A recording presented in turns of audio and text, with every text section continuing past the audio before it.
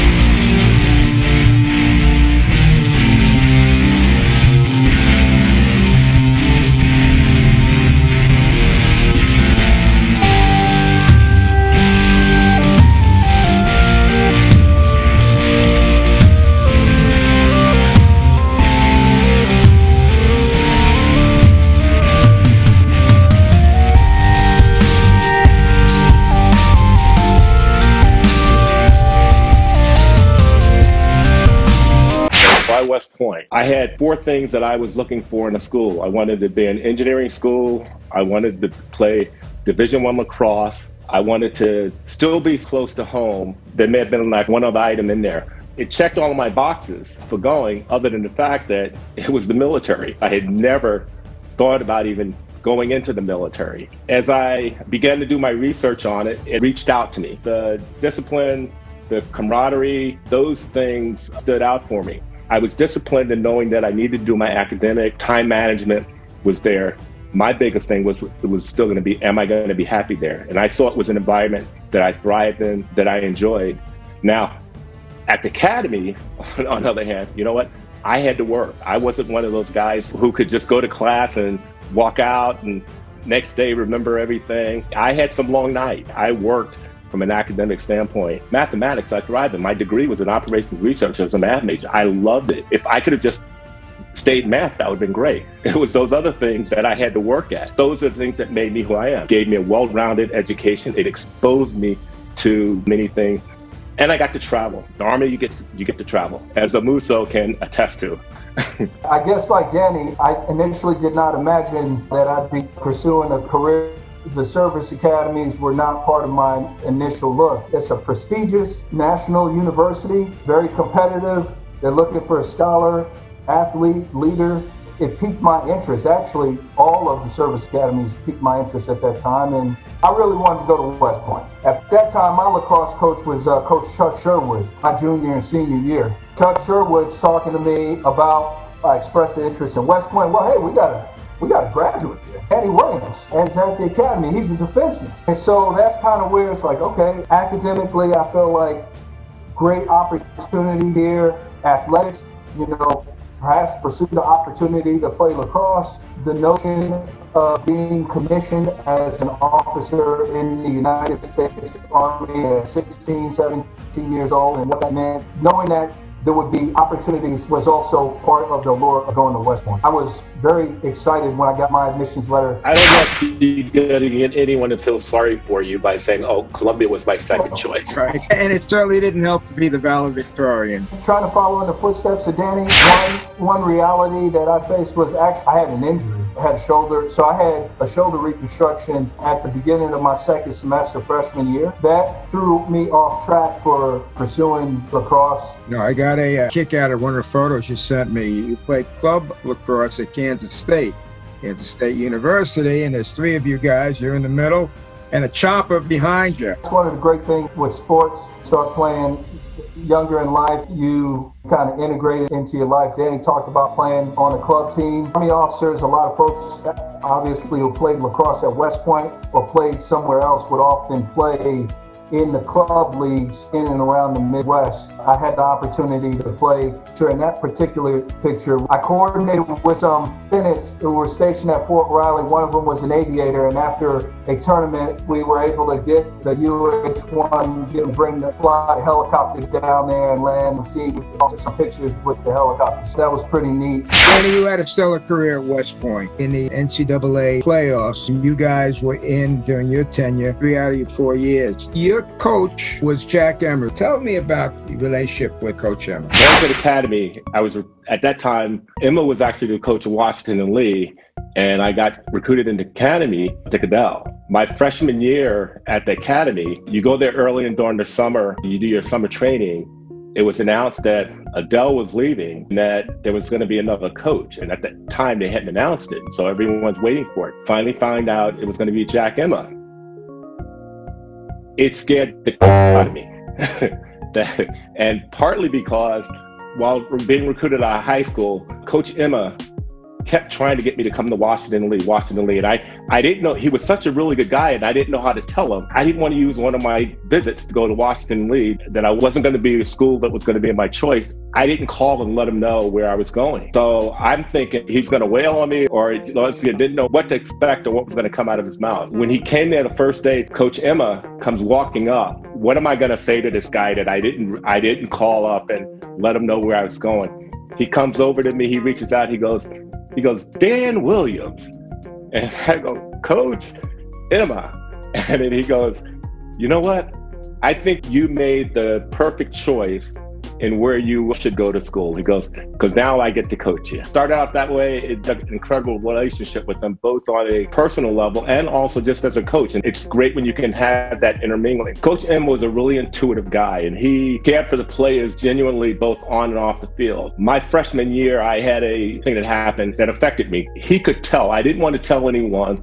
I didn't think I was showing it. I go to practice. He pulls me aside at the end of practice. He goes, Dan, what's going on? And I'm like, what do you mean, coach? He goes, something's going on. He goes, I can tell, and I know you better than this. So what's occurring? Well, I sat down with him. I explained what was going on. He let the two team captains know what was occurring. It was something that he says, I, I just want you guys to watch out for him. He's going through a little bit of a rough period right now. Here's the situation. What just struck me was that once again, from the personal level, he reached out. So he could be a compassionate guy, but he could be complete opposite on the field. He was a demanding coach. He made sure you played to your potential. He was this the big whiz kid with lacrosse in terms of trying to figure out new ways to do people. And this was just when defensive midfield were getting started. He put me in that defensive midfield position and I played on a 10 man ride. The unfortunate thing about it was that it caused me to have to do a whole lot of running. One thing he could depend on me for was was being able to uh, run people down and or and or assist in that area. He's an incredible coach. I still stay in touch with him to this day. We talk on occasion, and he's also someone that I continue to reach out to. He was a big source of support, and, and as I said, just a, a really really good guy. The kind of coach that any kid would want at any age level. Next on Lacrosse Legends.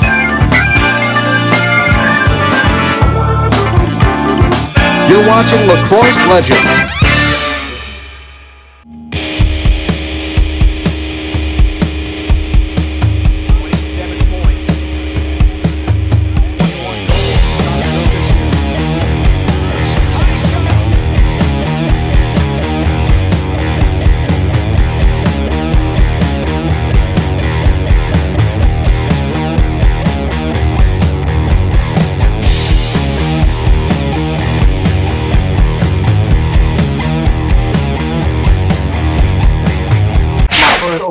Assignment. It was Germany. Lived in a city called Bad Kreuznach, Germany, not too far from Frankfurt. Home of 1st Armored Division headquarters over in Germany. This is mid to late 90s. I went to Germany initially thinking, hey, three years, and then I'll be going back to the United States. Long story short, I ended up staying six years in Germany because I extended twice the three years in Bad Kreuznach. I went to uh, a city beautiful city in Germany called Heidelberg, Germany. Uh, the U.S. Army Corps of Engineers, I was a financial manager for them in uh, Baghdad. In Afghanistan for a year, where I ran into Danny. It was actually a NATO position in supporting the training efforts for the Afghanistan National Security Defense Forces there. One thing I will say when you have had the opportunity for a posting outside of the continental United States and overseas, it offers a great perspective because as an American on the outside looking in, you get a different perspective of things going on at home, and then you also get an opportunity to interact with our partners and allies. What most struck me in um, in my assignments overseas is all of our partners and allies, they really kind of look to the United States. Uh, they, they, in many cases, they kind of take their lead from the United States in many of these uh, the missions and, and, efforts going on around the world. You get a real good appreciation for that. In saying that, you get a really good appreciation for what it means to be an American and understanding some of the blessings and the benefits we have. Some overseas assignments, obviously, great opportunities for travel and then other overseas assignments where we were literally in a war zone, very challenging and risky. Just over halfway through a year-long tour in Afghanistan, I was stationed in Kabul, Afghanistan, on a small U.S. Uh, posting posting there. I found out about there was going to be a Founders Day recognition on another small installation in the city. I, I was a colonel at the time, there were multiple general officers in there. In fact, General Dunford retired last year as the chairman of Joint Chiefs of Staff at the time.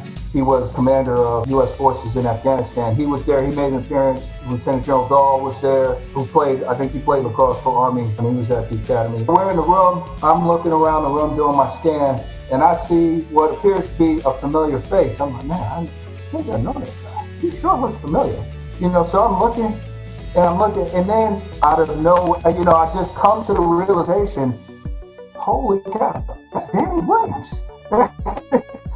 One of the most wonderful moments in tour. It was certainly the highlight of that day for me because it, the fact of us two being there, Hempstead High School graduates, you know, West Point graduates, senior Army officers who had had successful careers. It's almost like coming full circle. That was something that was unexpected that day. One of the most wonderful things that I always remember from my tour in Afghanistan. The chances of two Hempstead High School graduates meeting in the middle of a war zone as senior Army officers there affecting what's what was going on in the world. We actually look like two brothers standing there in every sense of the word, mirror images. Other than the fact that actually at that time he had a full bird colonel on his rank. He surpassed me. I was only a lieutenant colonel. For me, it was also actually a pretty moving experience from the standpoint that Omuso talks about how he looked up to me. Part of making the decision was going to the academy and wanting to emulate some of that, still be his own person,